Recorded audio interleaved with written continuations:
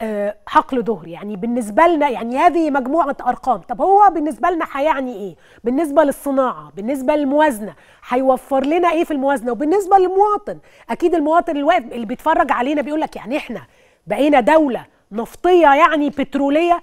لا.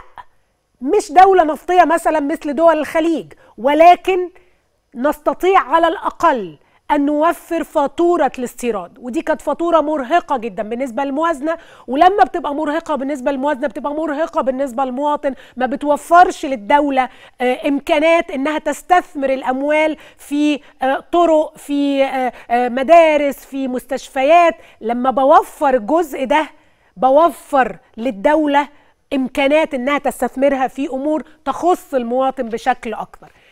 هذا الإنتاج عندما بدأ النهارده 350 آه، آه، قدم مكعب آه، آه، 350 مليون آه، قدم مكعب يوميا آه، هيوفر قد إيه؟ هيوفر حوالي 60 مليون دولار شهريا في فاتورة وارداتنا. إحنا بنستورد بكام؟ إحنا بنستورد بحوالي 200 يعني 250 تقريبا مليار آه، آه، مليون آه، آه، دولار آه، شهريا غاز فقط فإحنا بنتكلم إنه هيوفر لنا مع بدء الإنتاج هيوفر لنا 60 مليون دولار شهريا من فاتورة آه، وارداتنا يعني هيوفر لنا تقريبا سنويا من 700 ل 720 مليون دولار سنويا. ده في بداية الإنتاج اللي هو 350 مليون قدم مكعب ده لسه البداية. يونيو 2018 بقى لما نوصل لوضع أفضل مليار قدم مكعب إن شاء الله ده هيوفر لنا 180 مليون دولار شهريا و2 مليار دولار سنويا وده حسابات وزارة البترول اللي حسبتها معانا واللي ادتنا هذه آه وفرت لنا هذه الأرقام. اذا هيوفر لنا مليار دولار آه آه، سنويا من فاتورة الاستيراد وده رقم مهم جدا. مرة أخرى هذا رقم مهم. طبقا لتصريحات وزير البترول اللي كان قالها لنا في بنهاية أو في النصف الثاني من 2018 نستطيع إن إحنا نتوقف عن استيراد الغاز.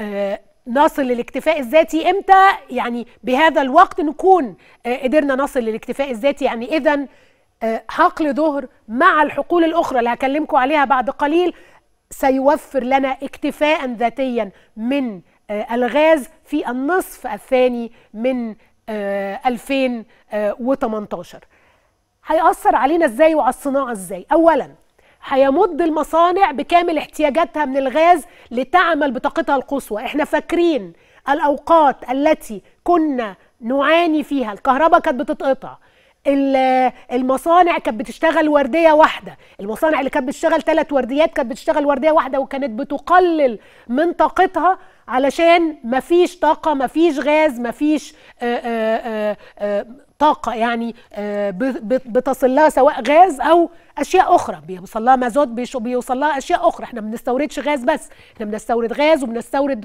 بترول ومشتقاته مازوت وبنزين وغيره. اذا إمداد المصانع بكامل احتياجاتها وفي مصانع كتيرة جدا بقت بتستخدم الغاز الطبيعي هيساهم في جذب استثمارات آه، جديدة تترجم إلى فرص عمل. دلوقتي أي مستثمر بيجي بيسأل أول حاجة الطاقة فين؟ هجيب منين طاقة لهذا المصنع؟ طيب ماشي أنا هاجي أعمل مصنع وأستثمر هجيب منين كهرباء؟ ما هي الكهرباء ما هو الغاز بيروح يشغل آه الكهرباء وبالتالي بنذهب إلى بي- بيشغل المصانع. وعايزة أقول لكم إن معظم الغاز اللي إحنا بنستورده أو معظم الغاز عندنا في مصر آه، سواء ال- اللي بنسته... بنستهلكه عموما 60% منه بيذهب إلى أو يمكن 80% منه بيذهب إلى محطات الكهرباء. وبالتالي الغاز مشغل رئيسي جدا للكهرباء اللي بتشغل الصناعة. اذا بيوفر آه، في الموازنة مليار دولار آه، آه، سنويا بيساهم في آه، تعميق الصناعة إمداد المصانع بالطاقة تخفيف الضغط على آه، الدولار دعم ميزان المدفوعات خفض العجز في الموازنة. كل ده كلام مهم جدا. يترجم لإيه بقى؟ يترجم بالنسبة للمواطن لفرص عمل أفضل لما يكون في صناعة يبقى في فرص عمل أفضل. قدرة للموازنة وللدولة إنها توفر أموال تقدر إنها تستخدمها آه، في استثمارات أخرى تخص المواطن سواء في الشوارع آه، في الصحة في التعليم في غيره. وأيضا بتريح الميزانية يعني فكرة إن إن الموازنة تقدر إنها تكون مش مضغوطة. نذكر طبعا الأيام اللي كنا بنقف فيها على البنزين الأيام اللي كانت الكهرباء فيها آه، آه، بتنقطع. كل دي ذكريات سيئة ولكن عليها أن تكون دائما حاضرة ونحن نحتفي بهذا الحقل لأن إحنا مرينا بمراحل كثيرة جدا. مصر كانت آه، منتجة للغاز ثم مصدرة للغاز ثم مستوردة للغاز والآن نتمنى أن نصل بس للاكتفاء الذاتي.